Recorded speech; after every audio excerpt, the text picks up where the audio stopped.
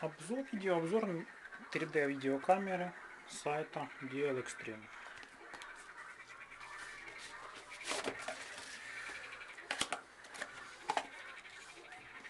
В упаковке у нас есть диск с программным обеспечением, инструкция для ПО, гарантийная карточка инструкция на китайском и на английском языках. В упаковке имеется аккумулятор емкостью 1260 мАч. Имеется HDMI кабель позолоченными контактами. USB аудио видео разъем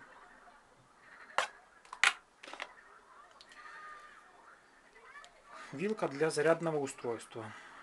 К сожалению, вилка американского стандарта необходим переходник. Само зарядное устройство.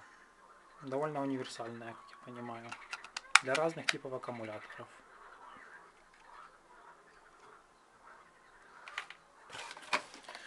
Также в комплекте имеется темляк для видеокамеры. Достанем саму видеокамеру. Вот в таком виде она приехала к нам из Китая. Сама видеокамера. Первое, что бросается в глаза, у нас уже есть немножко залапанный объектив. Крышки объектива не наблюдается. Камера довольно аккуратно сделана, летая. Немножко болтается, тарахтит только рычажок зума. Экранчик, как видим, уже тоже приехал залапанный, но на нем наклеена защитная пленочка. Экранчик можно развернуть по съемке для автопортретов, автосъемок. Разъемы расположены на передней панели.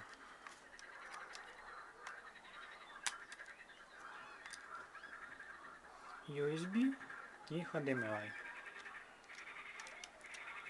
Кнопочка включения расположена под экранчиком. В камере используются SDHC карточки. Стандартный формат, довольно дешевый объем памяти. В комплекте карточки не было. Управление. Кнопка записи. Управление цифровым зумом. Камера не имеет оптического зума. Курс, э, джойстик. Кнопочка для 3D просмотр и кнопочка меню. Давайте установим аккумулятор.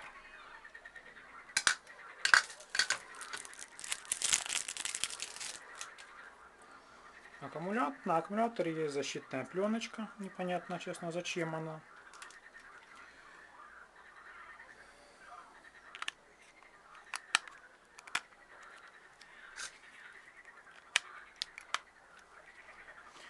Так, аккумулятор установлен.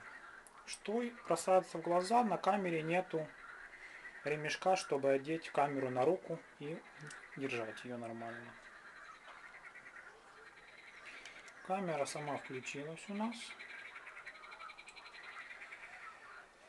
Итак, при автомате у нас сразу идет 3D изображение. Если будет видно, нажимаем кнопочку 3D. Изображение стало. Нажимаем повторно.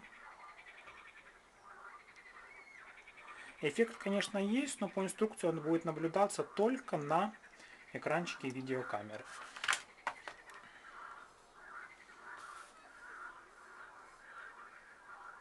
Цифровой зум. Конечно, он будет портить картинку. Что еще? Меню. Так, меню. Сетап. Язык. В меню камеры присутствует русский язык. Убираем его. дата, время, настройки. Непонятно, зачем, что, как, куда. По умолчанию звуковые сигналы, ТВ стандарт, ТСЦ PAL, частота кадров, включение, отключение питания автоматическое. И на этом меню заканчивается.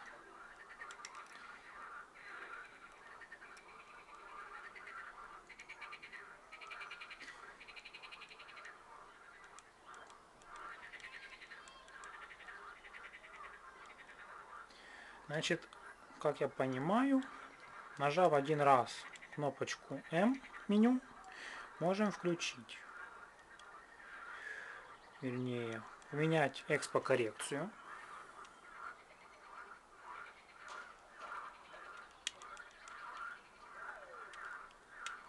плюс 2 до минус 2, как в обычном цифровом фотоаппарате.